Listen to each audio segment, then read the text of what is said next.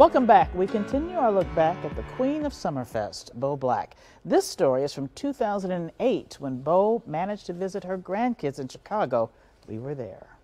Swing, yeah.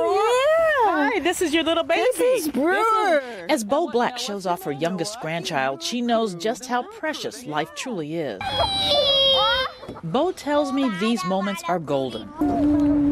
I love you, baby girl. Because of her health, Bo Black has not always been able to be there as her young grandchildren grow up. However, she says one of her greatest joys these days is to come to Evanston and reconnect with her daughter and her three grandchildren. Oh, it feels so good to swing. These are Bo's only grandkids six year old Grace, four year old Jack, and little Brewer, almost two.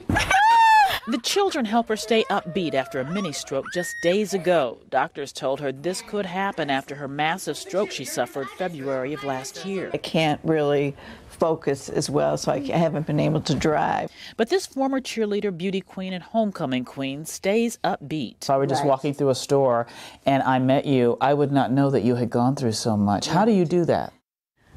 Put makeup on and do my hair. Bo has conquered depression by focusing on what matters. I live for my kids, really. I mean, that's really what I live for. When I look at you and I think, okay, your spirits are up. I do want to live. You know, before I didn't want to live, and now I, I want to live so badly. And, you know, it's so funny how you can change.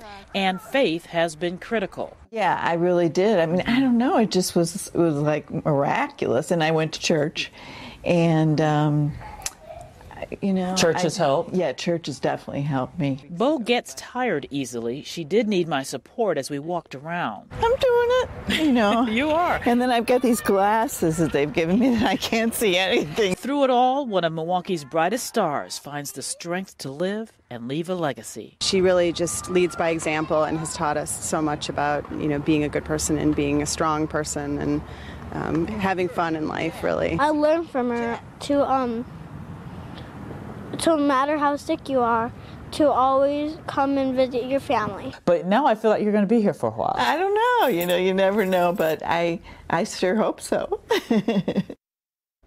no, it's hard to believe that was just 12 years ago. Bo, though, you will always remain in our hearts, and we miss you already.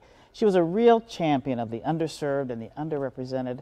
Her husband, Tom Trebelhorn, tells me they hope to honor Bo with a Milwaukee service at a later date when it is safe.